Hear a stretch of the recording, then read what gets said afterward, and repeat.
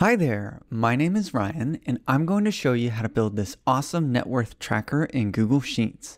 I really love this spreadsheet because it's a really nice place to organize all of the financial aspects of my life. It shows me a clear breakdown of my assets and liabilities. It tells me the last time I made an update, and I think it's really fun to look at. So I'll walk you through exactly how to build it starting from scratch, so you can use it too.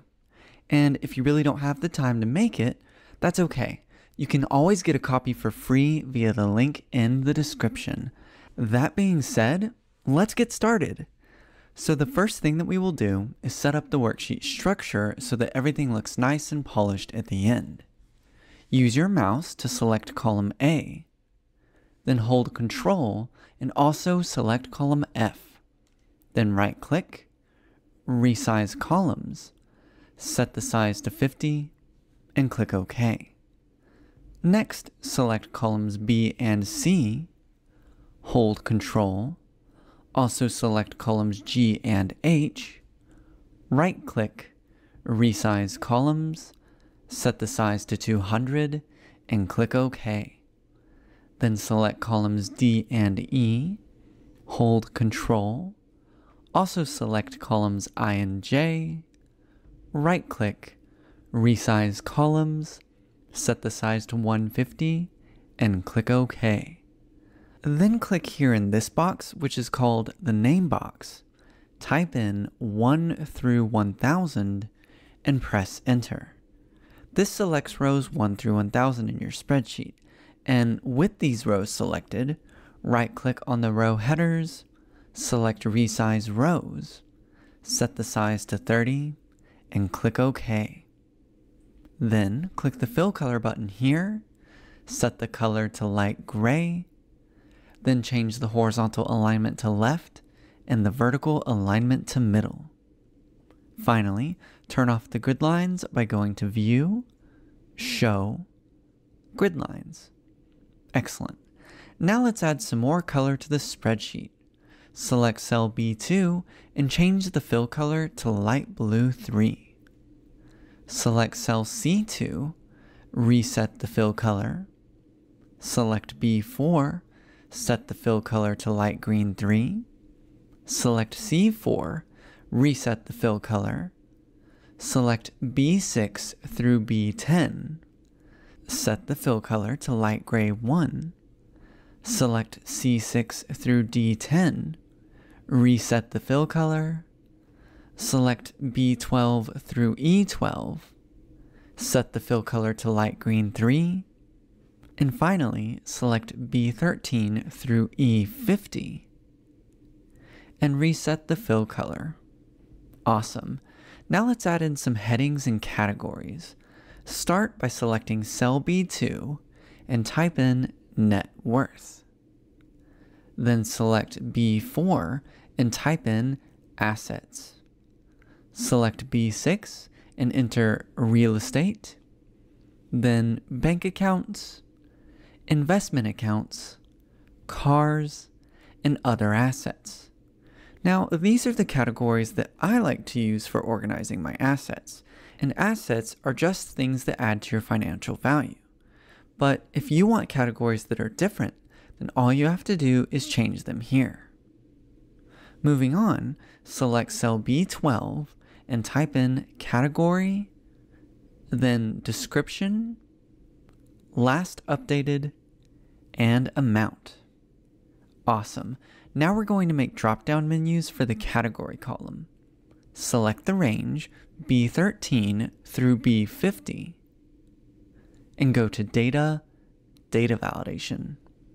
Click on Add Rule, select drop-down from a range, then for the range, select the categories in B6 through B10, then click OK click on Advanced Options, and choose the display style of your choice.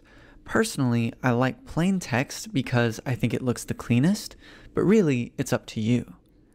And then, once you're finished, click Done. You can now select categories from the drop-down menu like so.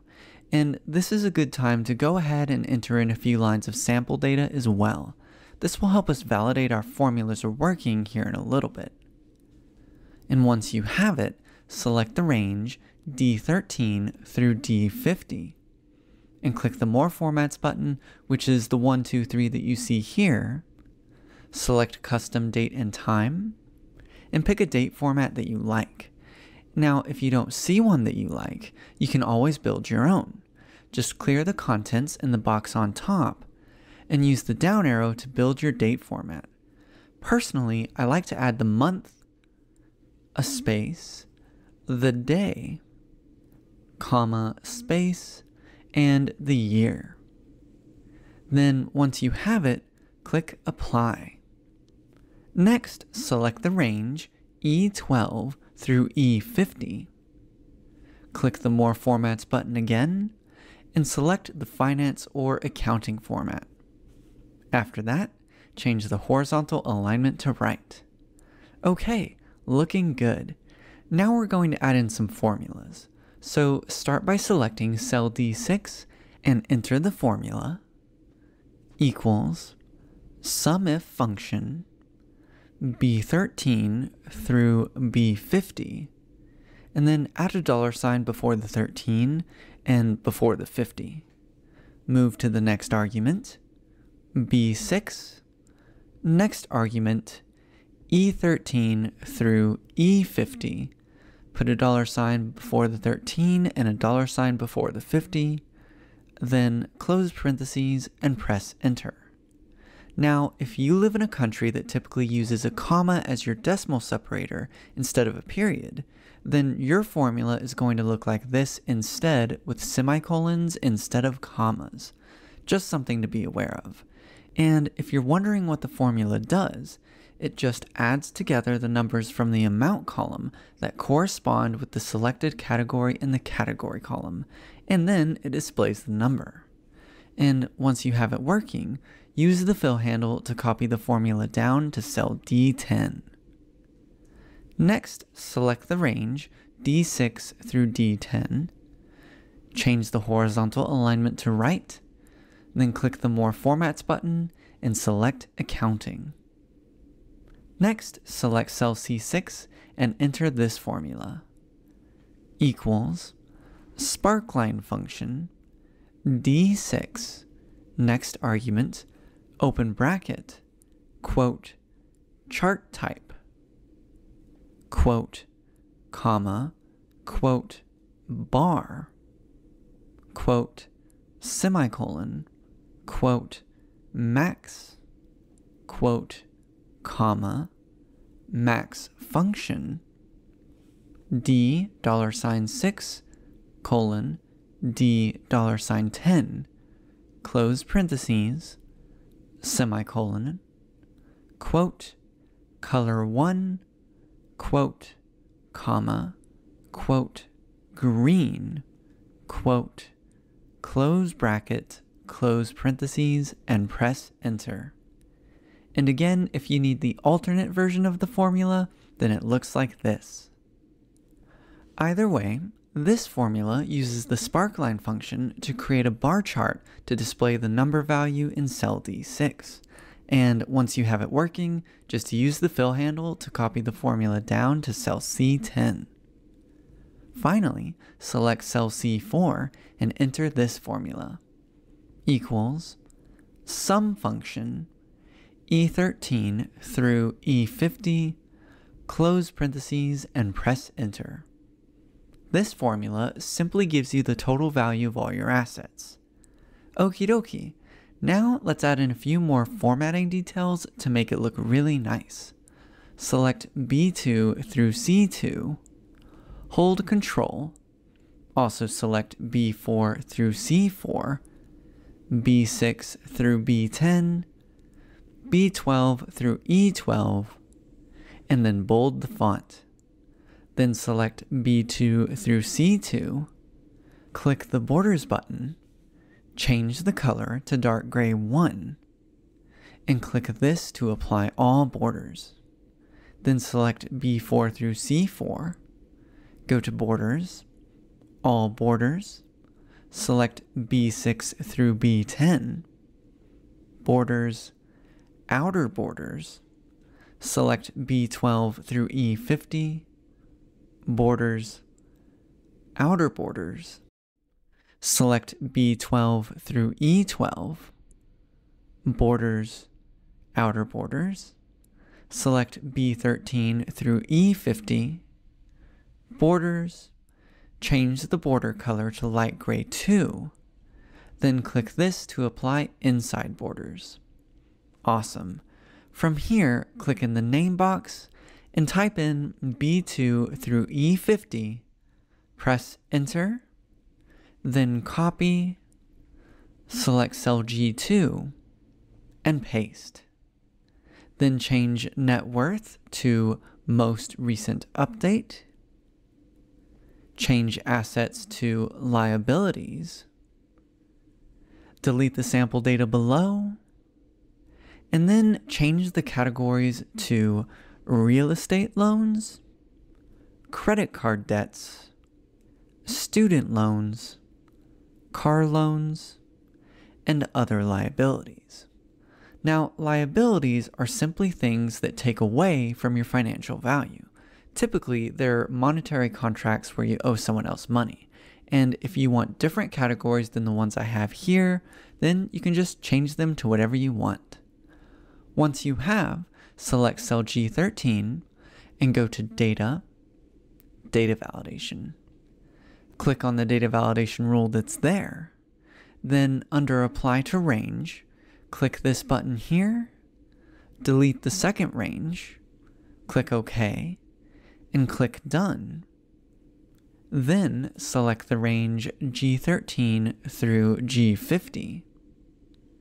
And under Data Validation, click Add Rule, select Drop Down from a range, and for the range, select the liability categories in G6 through G10, then click OK, click Advanced Options, choose your favorite, and click on Done. And now you can test everything by entering a few sample records like so. Okie dokie, all that's left is a bit more formatting and then the final two formulas. Start by selecting G12 through J12 and change the fill color to light red 3. Then select G4 and do the same thing there. Next, select cell H6 and in the formula, change green to the hex code hashtag CC0000. This is the hex code for a nice dark red, and once you have it, copy the formula down with the fill handle. Next, select H4, change the font color to dark red 1, select I6 through I10, change the font color to dark red 1, select D6 through D10, change the font color to dark green 2, select C4, change the font color to dark green 2, select H6 through I10, go to Borders, change the border color to dark gray 1, apply outer borders, select C6 through D10, Borders, outer borders, then select row 1, hold Control, also select rows 3, 5, and 11. Then right click, resize rows, set the size to 20, and click OK. Then select cell A12 and go to View, Freeze, up to row 12. Excellent. On to the last two formulas. Select cell C2 and enter the formula equals C4 minus H4. And then change the font color to dark blue too.